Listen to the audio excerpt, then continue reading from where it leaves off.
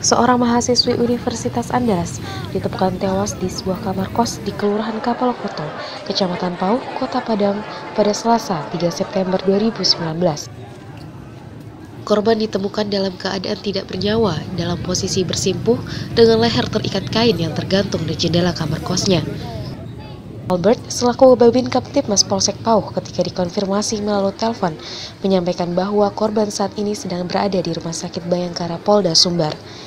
Otopsi pada korban belum bisa dilakukan karena belum ada persetujuan dari pihak keluarga korban.